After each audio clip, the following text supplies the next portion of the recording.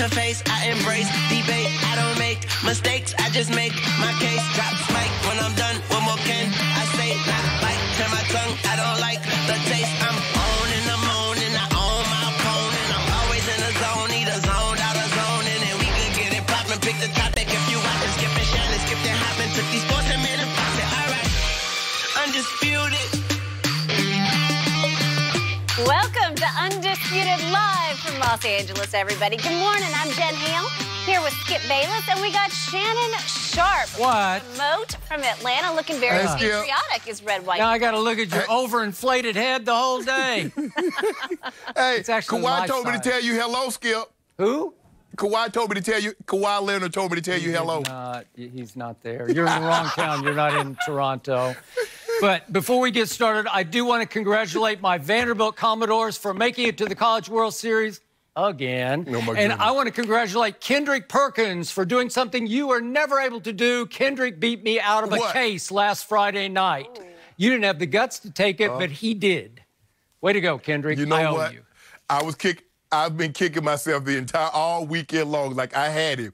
I had him across the fire and I let him go. Well, you did because you did not have the courage of your convictions, as I'm about to have once again. Thank you very much. Oh, really? Yes, Oh, here we go. Oh, okay. Well, we're about to we're about to find out how much conviction you have. Okay. You know he is never short on predictions or scoop. All right, let's get to tonight's must-win face-off for the Warriors. They are one loss away from elimination. However, is help on the way?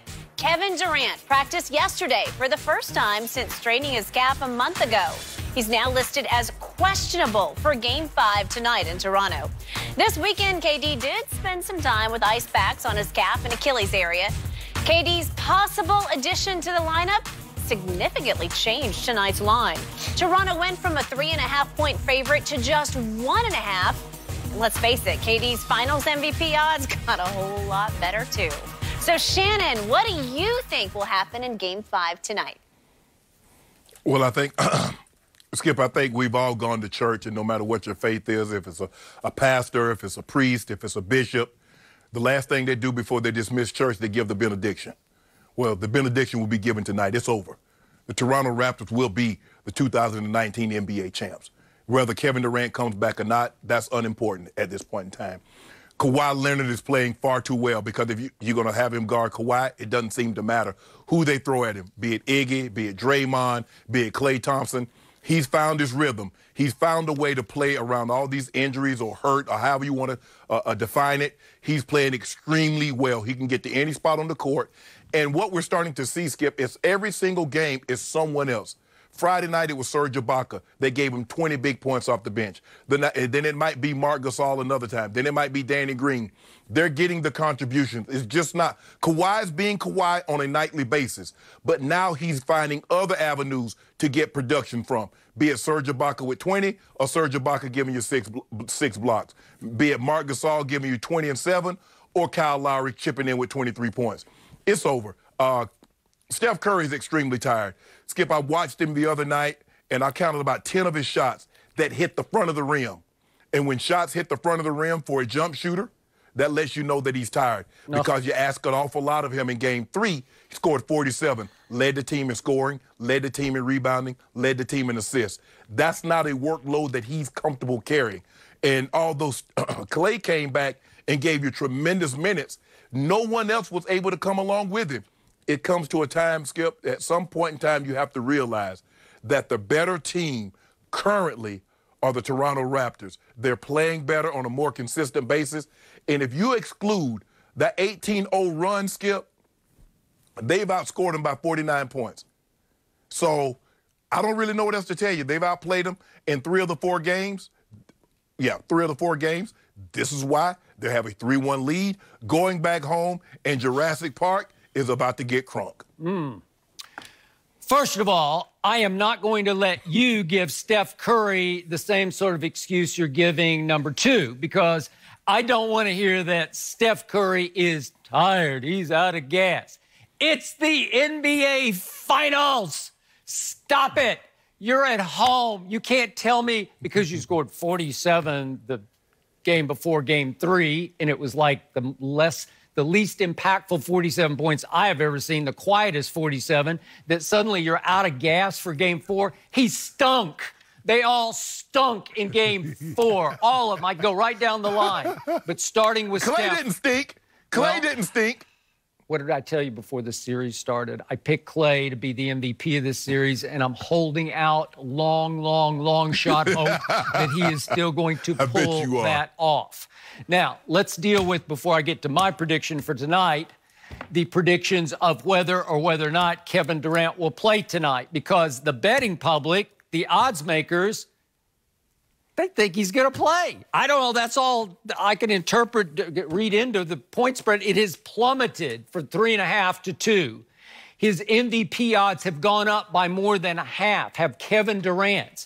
And obviously, if a miracle occurs and he shows up tonight in Toronto in the starting lineup, and he is the reason they win game three and the reason then they win game four, and then that they win, I mean, sorry, game uh, five tonight Five, and then six, and- six and seven. But if he's the reason they win three straight games, you know what's going to happen.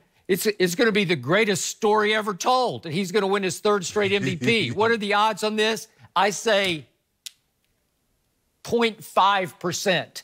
I say Exactly. I, I say no percent. I say there's no way that that guy we saw in that video that we just saw where he was walking up the tunnel away from practice yesterday when he practiced for like five minutes, that guy's not going to play tonight. I'm sorry, I can't Yeah. see it. And you've made this point before. Once again, yesterday as he walked away with Mike Brown, he had ice bags on his calf and all the way down on his Achilles tendon. Okay, so Yeah. what does that tell you? What does that show you? Well, he heard us talking. Yeah. He heard us talking about how how low that ice how low the ice bag was. That was never Skip. Look, you've covered this game a long, long time. I played professional sports, played college. Skip, I've never seen an ice bag on a calf that low. That's all I'm saying. I've just never seen it that low. That that might that might not be the case. I don't want to play a doctor on television, but I'm just saying, in my experience, I've never seen someone put an ice bag on a calf that's down around their Achilles. So, is he just jacking with us? Is he messing with us? Is he trying to play into the theme that we've created here on this show? That he's got something wrong with his Achilles? Maybe. But I'm I'm here to say we both concluded after we saw what happened that night in game five against the Rockets when he pulled up lame, mm-hmm. it just looked like an Achilles. I thought it was ruptured. You thought it was ruptured. It's highly mm-hmm. possible his Achilles was merely torn, that he has a significant Right. tear in his Achilles tendon, but it didn't Correct. rupture. It didn't come apart and Right. roll up like a lampshade up into the top of his, the, you know, the back of his knee. So is it Yeah, that would have rolled up into his calf. Yeah, there you go. Well, is it possible they're telling him, Kevin, it's just hanging by a thread? You, you just can't risk this. Yeah, it's highly possible. Is it possible that Steve Kerr just keeps trying to threaten Toronto? The boogeyman is coming. The boogeyman is coming. He's going to play tomorrow. then the boogeyman's going to play the next night. And the boogeyman's going to. Nope. Right. He's not going to play because Steve Kerr keeps dropping these big hints and nothing happens. I don't even think he's even Right. really practiced. And the, the odds on him just suddenly showing up in the starting lineup, again, the, the odds makers, the betting public, they're they're jumping on this bandwagon. I don't think you and I are on that bandwagon. No, we're not. Skip, if you remember when Michael Jordan made his comeback in March of 1995, now Mike had been practicing probably two or three months before he made it official that he was coming back. His first night back, he played 43 minutes. He was 7 of 28, Yep. scored 19 points. He had been practicing for over two to three months. And he was Kevin Durant would have healthy. gone Yeah. Yes, Kevin Durant would have practiced what? One day, maybe 20 minutes, and you expect him to come back and give you a Herculean effort. I don't see it. And a lot of this, and we're going to talk about it a little later, Skip, a lot of this is Steve Kerr's fault because he kept giving this team, he kept giving their fans false hope. Oh, he's close. He uh maybe game one, we'll see how it goes. And he kept br- moving up the timeline instead of just saying Kevin Durant is out indefinitely, and when he comes back, we'll welcome him back. We'll get him back into the offense. Yep. But he kept providing that angst that everybody is feeling that Kevin Durant was coming back. Okay. So now he's actually given his team an excuse that the guy who saved this team after it blew the three to one lead to Kyrie and LeBron is, is, now the reason they can't beat Toronto. And I think in the locker room, we're going to talk about this later, some of the reports from inside the locker room, but inside they're saying, well, is he Steve really or is he not? And they're clinging hmm. To the possibility that he will save them when I don't think there's any chance he will save them. So it's either it's one or two things. He's either not hurt at all and he's not rushing back the way Klay rushed back with his hamstring, or he's significantly hurt and he just can't play. Skip, you remember it was about 16 months ago. There was a very, very similar situation that you're very familiar with. A guy that was hurt and the organization and some of his teammates didn't think he was hurt. Mm. And we know how that turned out. Mm. Yeah, but in now, that case, saying, the whole now, medical staff cleared him to play. Has he been? Has Kevin just, Durant I'm, been cleared? he has been listed as questionable. Is that cleared to play? Well, but but here's the thing, and, and in the article, if you read it, Skip, you know everybody keeps saying, you know, well, when is he going to come back, or when is he going, uh, when is he going to come back, or, or someone says this, the players are saying that, but the athletic trainer hasn't cleared him. Well, if the athletic trainer hadn't cleared him, why is there angst? Why are you so concerned? Because he hasn't been cleared, which leads you to believe what, Skip? If the athletic trainer does not uh, uh, clear me to be on the field, why is there concern with the head coach? Why are there mm-hmm. concerns with my teammates? Because I haven't been cleared. Okay. Because it's telling me something that I'm not so sure that they believe that Kevin Durant is working as hard as he needs to be, or he isn't as